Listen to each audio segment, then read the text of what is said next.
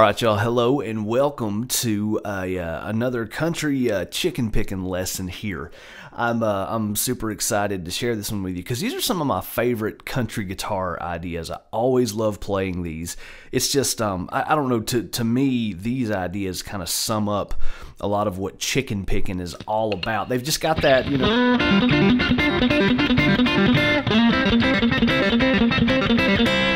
It's just got it just sounds like chicken picking.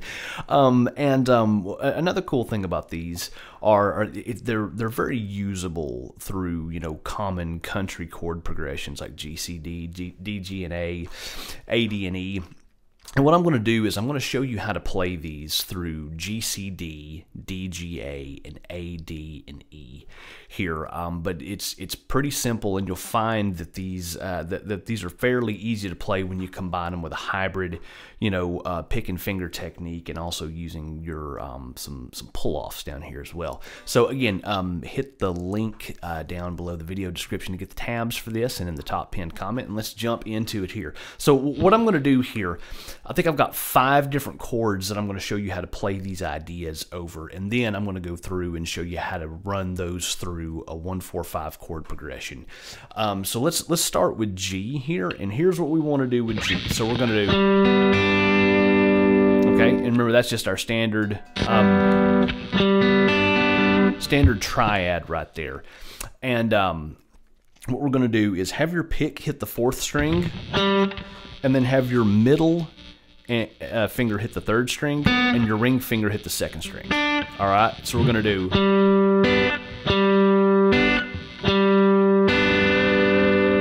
But then what we're gonna do is we're gonna pull off um, from the third string. We're gonna do. And we're gonna do that. Um, see. Going to do that three times, and then we're going to end with.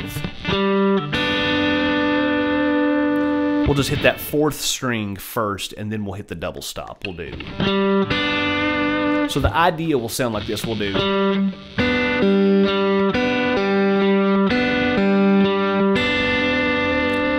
And we're going to play that idea two times. So we're going to do.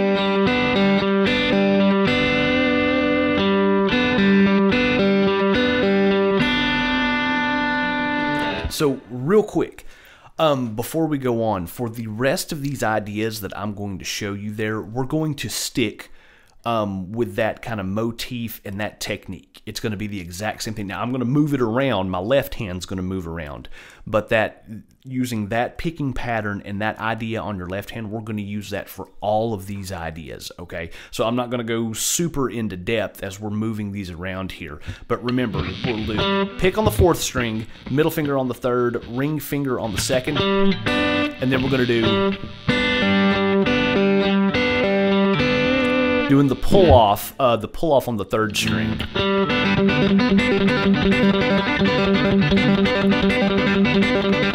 Okay. Um, sometimes you'll hear, you know, great players like Albert Lee will actually pick that. He'll do like. I've tried to do that. I can't do it. Um, so so I just kind of I just do a little pull off right there, and it it, it it, I can execute the same idea um, with about the same amount of articulation. Plus, it's way easier. So again.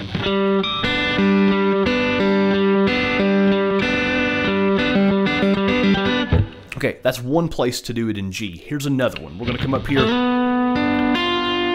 So that's pinky finger on the ninth fret of the fourth, middle finger on the seventh fret of the third string, and pointer finger on the sixth fret of the second. Again, technique's going to be the same. We're going to do.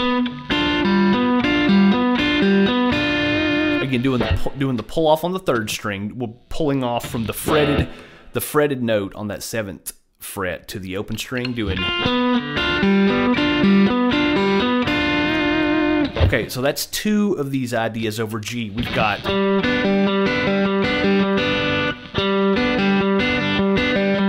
We come up here.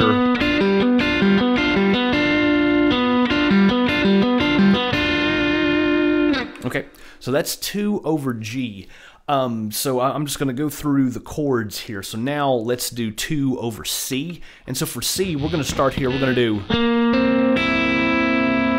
All right. And that is with your pinky finger on the eighth fret of the fourth string, pointer finger on the fifth fret of the third and the second string. And it- but again, technique's the same. I'm just pulling off to that open third string. Okay, that's one place to do it in C. Here's another one. We're to do a little triad up here, and that's ring finger, uh, 10th fret of the fourth string, middle finger, ninth fret of the third, pointer finger, eighth fret of the second. Same deal though.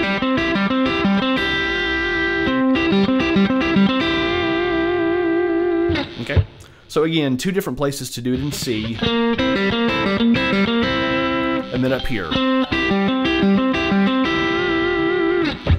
Okay, so that's two different ways of doing it in C. Now let's do two different ways of doing it in D. All right, so for D, we're, we're going to use our second shape for G that we did a minute ago. This little dominant seven, um, like with the major third down here, and then I, th- I think that's the fifth. and then the, yeah, exactly. So we've got the third, the fifth, and the dominant seven right here. We're just to move that shape down here, and we'll do.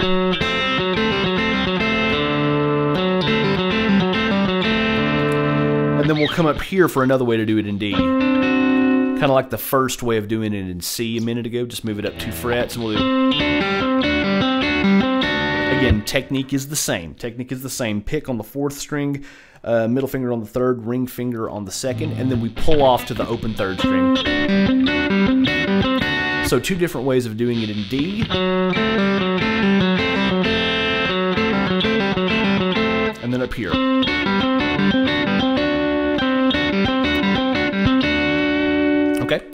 Um, so now while we're here, let's do two in E. And all we're going to do in E is do the exact same two that we did in D, but we're just going to move everything up two frets. We're going to do, uh, so for E.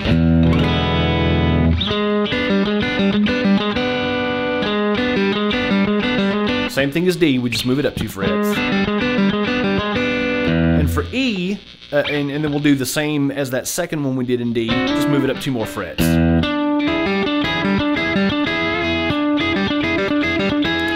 Hope you can see why I like doing these so much because it's just it's easy.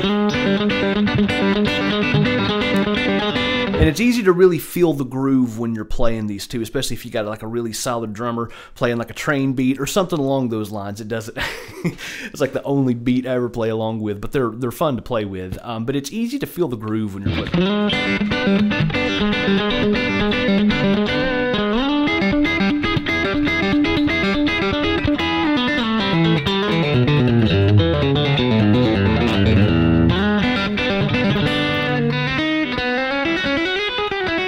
Right, so that was two uh, again in E one more time,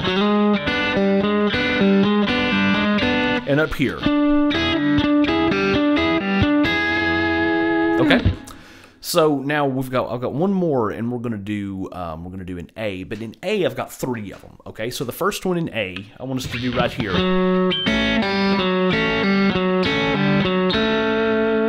So that's fourth fret of the fourth string, and then I've got the pointer finger on the second fret of both the third and second strings. Again, technique's the same though.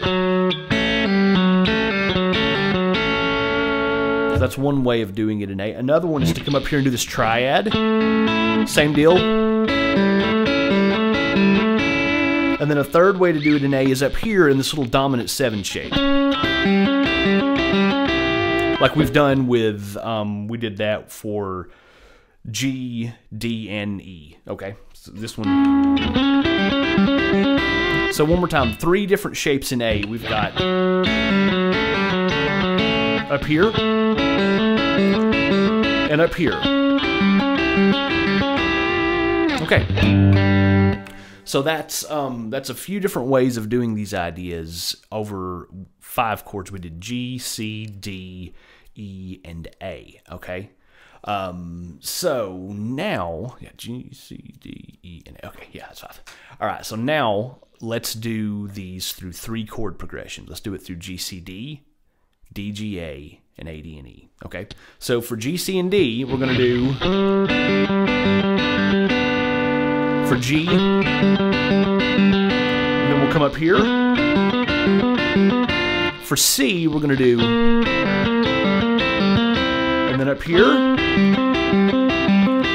For D, G, and A, we'll do. I'm sorry, not D, G, and A, just D. Up here. Back to G, C, and D.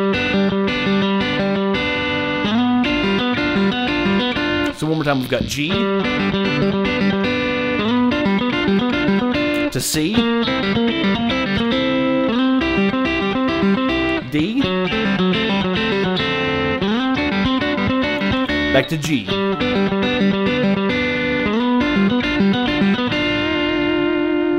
Okay. So there's that through G, C, and D. So real quick, let's hear how that sounds with a backing track.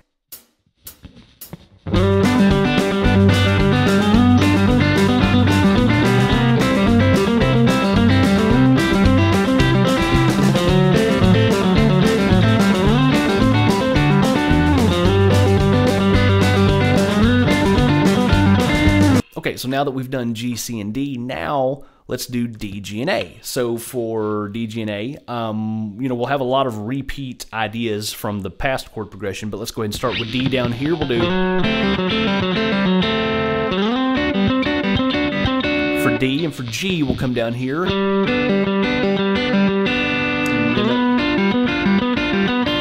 Okay, so that's for G. Now for A, I want us to go through all three for A. Let's do.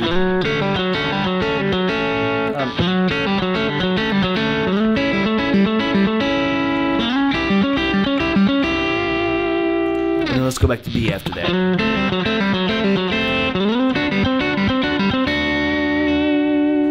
Okay. So let's hear how that sounds with a backing track.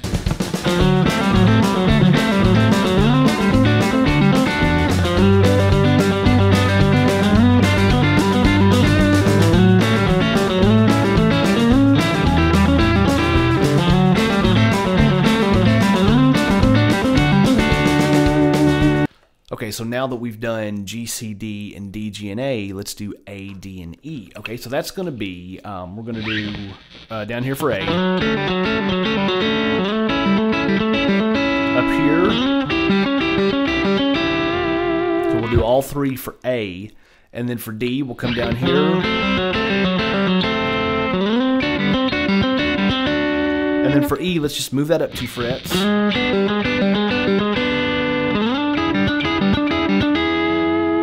Let's go back down to A.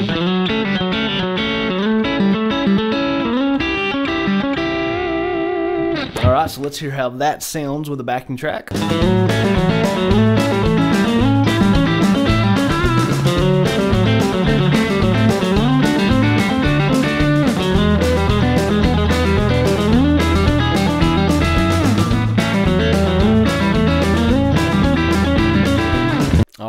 Very cool.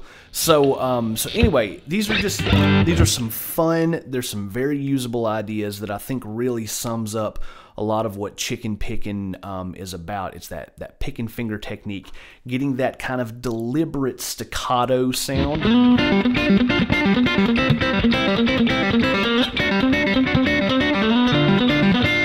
Anyway, you can hear, you know, a lot of the country guitar greats. Obviously, these are most associated with Albert Lee, but you'll hear Brent Mason use them a lot. You hear Johnny Hiland use them a lot. You hear Guthrie Trapp use them a lot. I mean, they're just really cool, very usable um, country guitar, chicken picking sounding um, ideas here. So, all right. Thanks so much for hanging out today. Remember to hit the um, uh, down in the video description and in the top pinned comment if you'd like to get the tabs for this lesson, and I will see you next time.